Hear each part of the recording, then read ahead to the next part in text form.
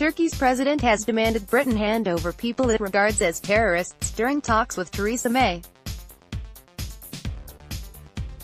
Recep Tayyip Erdogan said he wanted individuals connected with the Kurdish PKK organization and the FETO network linked to exiled cleric Fethullah Gulen to be extradited and warned, what hurts me today will hurt the UK tomorrow.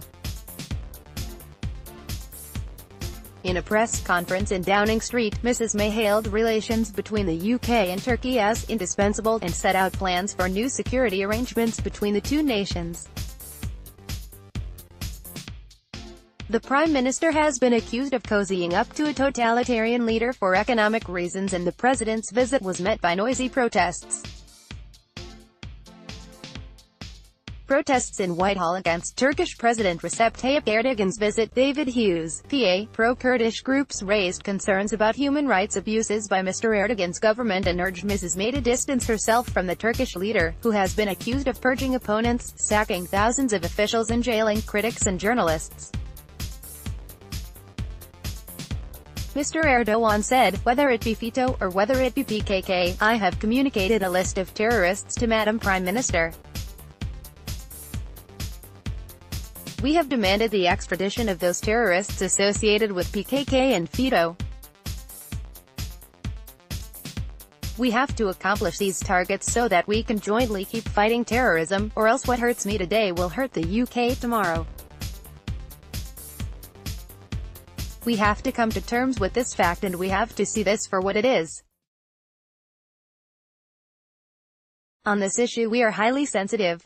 Mrs. May said the UK takes action, where we have evidence of terrorist activity, of criminal activity. I think you can see that in the action that has been taken against PKK here in the UK, she added.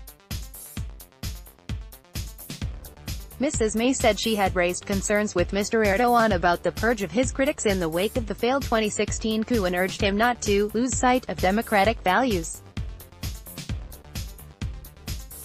Tens of thousands of opponents, including hundreds of journalists, have been locked up under his reign.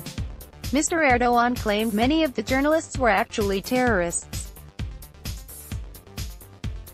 The PM said, it is right that those who sought to overthrow the democratically elected government are brought to justice but it is also important that, in the defense of democracy, which has been facing extraordinary pressures from the failed coup, instability across the border from Syria and from Kurdish terrorism, Turkey does not lose sight of the values it is seeking to defend. That is why today I have underlined to President Erdogan that we want to see democratic values and international human rights obligations upheld. Protests on Whitehall in central London. David Hughes, PA, Mrs May said the UK would remain a true friend to Turkey.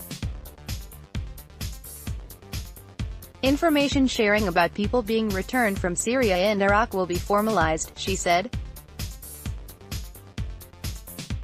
Mrs May added, Our intent is to agree that when Turkish authorities return a British citizen suspected of terrorist offences to Britain, they will do so with vital evidence, such as media taken from mobile devices and transcripts of interviews.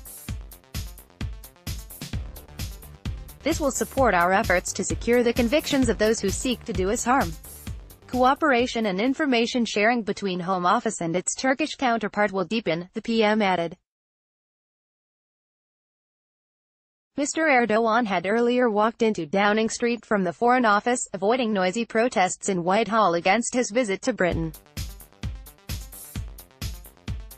The Prime Minister shook hands and posed for photographs with Mr. Erdogan outside Number 10 as demonstrators opposed to his authoritarian rule audibly shouted slogans and waved placards on Whitehall.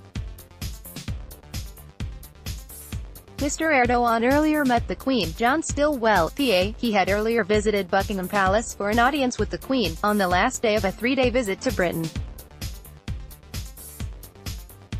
Demonstrators chanted, Turkish state, fascist state through a public address system and waved banners opposite the gates to Downing Street branding Mr. Erdogan a terrorist.